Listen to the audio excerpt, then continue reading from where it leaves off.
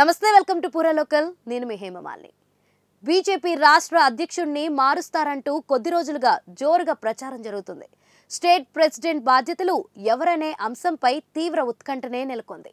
అయితే ఈ సస్పెన్స్కు మరో వారంలో బ్రేక్ పడే అవకాశం ఉన్నట్లు తెలుస్తుంది. హైకమాండ్ ఎవరికి ఛాన్స్ ఇవ్వనుందనేది హాట్ టాపిక్గా మారింది.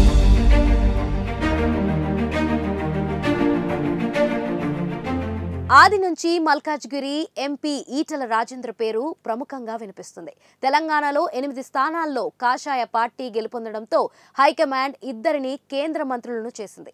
పార్టీ రాష్ట్ర అధ్యక్షుడిగా ఉన్న కిషన్ రెడ్డికి బొగ్గు గనుల శాఖను కేటాయించింది.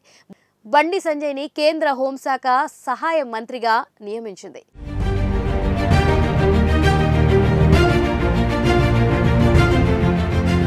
మంత్రిగా నియమించడంతో పాటు కిషన్ రెడ్డిని జమ్మూ కాశ్మీర్ ఎన్నికల ఇన్ఛార్జిగా సైతం ఇటీవలే నియమించింది. ప్రస్తుతం పార్లమెంట్ సమావేశాలు జరుగుతున్న నేపథ్యంలో ఆయన దాదాపు ఇరవై రోజుల వరకు తెలంగాణకు వచ్చే అవకాశం లేదని తెలుస్తుంది. ఈ మూడు వారాల టైం గ్యాప్ ఉండడంతో పార్టీ వ్యవహారాలకు ఇబ్బందిగా మారే ఛాన్స్ ఉందని సమాచారం.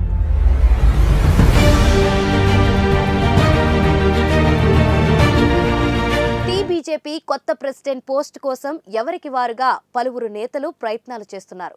ఈ నియామకంపై ఒక్కొక్కరుగా ఒక్కో అభిప్రాయాన్ని వ్యక్తం చేస్తూ వార్తల్లో నిలుస్తున్నారు. పార్టీలో సీనియర్లకు ఇవ్వాలని కొందరు అంటుంటే ఇంకొందరు దమ్మున్న నేతలు అవసరం అనివార్యమని చెబుతున్నారు. ఈ తరుణంలో బీజేఎల్పీ నేత ఏలేటి మహేశ్వర్ రెడ్డి ఉన్నపలంగా హస్తినాకు బయలుదేరడం చర్చనీయాంశమైంది. ఆయన బీజేపీ అగ్రనేతలతో భేటీ అయినట్లు తెలుస్తుంది. అయితే ఆయన ఎలాంటి అంశాలు పెద్దలకు వివరిస్తారనేది ఆసక్తికరంగా మారింది.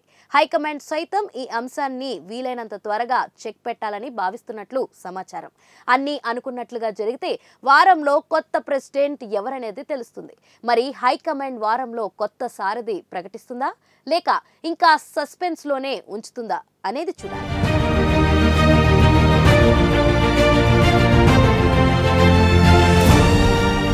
చూశారు కదా? ఇదండి ఇవాల్టి వార్తలు. మరిన్ని ఇంట్రెస్టింగ్ న్యూస్ కోసం చూస్తూనే ఉండండి పూరాలోక్.